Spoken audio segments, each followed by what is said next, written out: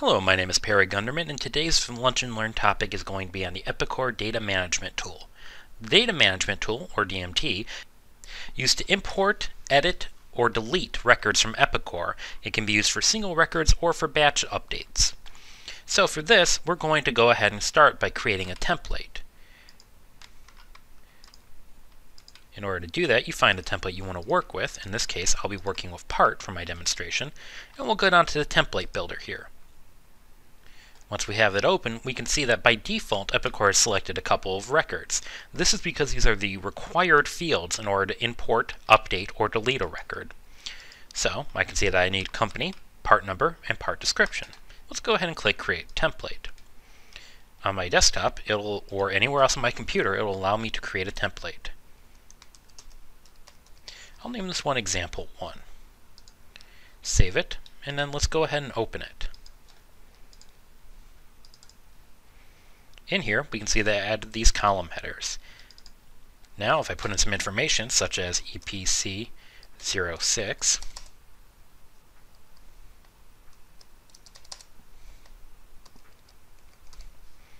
part number 1, 2, 3, 4, 5, 6, 7, 8, 9. Again, super amazing, but it'll get the job done. And example part. Now we can save it and it says it is being saved as a CSV format. Now you should use CSV in order to use the DMT. You can use an Excel format, but it tends to not be optimized well and will usually crash Epicor. So let's say yes. Now we'll close that. And we'll go back to our DMT tool. Now we'll go ahead and select our part source, example 1, and here we can see the one record I created. Before we import that, let's go to the part maintenance within Epicor, and we'll put in the number 123 456 789. The record is not found, so we know it doesn't exist in the database currently. So let's go back here and click Process. After a few moments, we get a message telling us whether it completed something, failed, or what the results were. Down here, if we had errors, we could click View in order to open up an error log. They will also list any errors on this box here. Input file, and for anything that we've completed, we can click View to see go to go ahead and see how long it took and how many records were imported, as well as any other information. With that part in, let's go back to our part entry. And let's once again put in the same number, 3, 4, 5, 6, 7, 8, 9. Here we can see my example part and the rest of the information is filled in by Epicor as best it can. The more information we put into the template, the less defaults Epicor has to choose. But let's say we don't want to insert one new record, but we want to update a bunch of records from within Epicor. Well, let's start with clearing this out and then going back to Excel. Now instead of creating a BAQ, or pulling in out records individually and typing up the information, there's actually a way we can pull that in ourselves. We can go to Data, from Other Sources, and I'm going to select from a SQL server. This will work for any Epicor 9 environment running on SQL or Epicor 10. This will also work with some versions of Epicor 8 as long as you have a compatible DMT tool. Now I need to put in the server that hosts my database, and this is referring to the instance name. And then I can select what database I want to work with. I want to work with the database for E10, and I want to work with, in particular, the part table. This is because I know that's where my records are going to end up and where they're coming from. I can put in some notes, but I'll just go ahead and click Finish for now. It says I've already created a table like this, which is fine because I've created the new connection.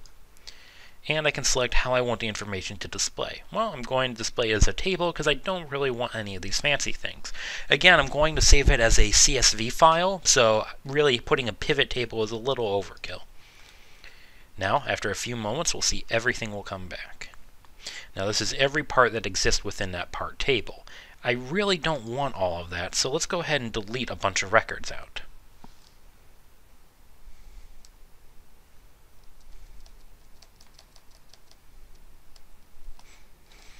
We can see out of nearly 12,000 records, I'm going to only use about six of them.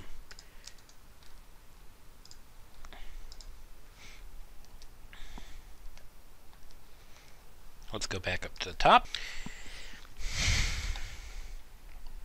Here I've selected only four different parts, but that's enough to get the example across. So let's save our file. And by default, this will be an Excel file because it's just pulling from a data source. So we'll have to do a save as onto the computer and click the drop down to select CSV. The normal CSV comma delimited will work just fine, but there shouldn't be a problem with CSV for Macintosh or CSV for MS-DOS. I usually just stick with the CSV though.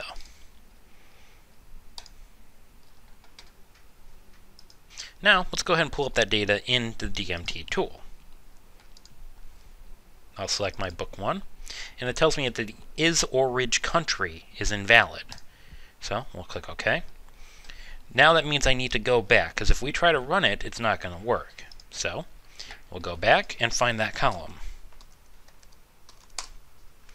Here it is. So we'll just delete it out.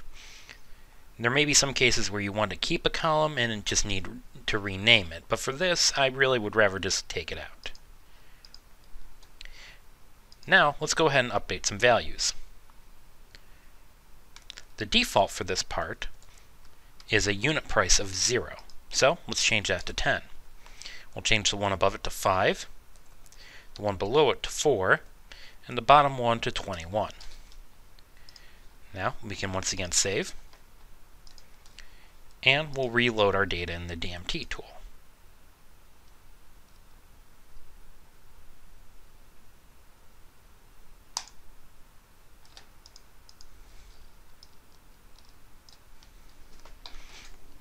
Once that data is in, we can go ahead and click Process.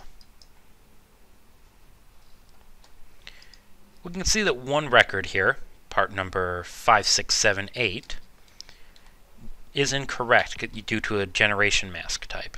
That's fine. So we could click here, see additional information on it. Look at the error log as well in a Excel format. So this one will allow us to look at the records that didn't make it in a new template, which we could save, make changes to, and then try to run again. Additionally, whenever this process is run, it creates these logs on the desktop. Finally, if we go back into the DMT, we can view the complete error log or sorry, the complete log, and this will tell us everything that we have imported. Now, let's go back into Epicor and our part maintenance. And we'll pull up one of the parts. In this case, we'll pull up Dagger. And we can see that our unit price now reflects the new amount that we put in. That should give you a good idea of how you can use a DMT tool and quickly create templates in order to import. There's a lot more depth to the DMT tool that can be explored, but that should be a good example for today. If you have questions, feel free to shoot us an email or visit our YouTube channel for additional tutorials. Thank you and have a good day.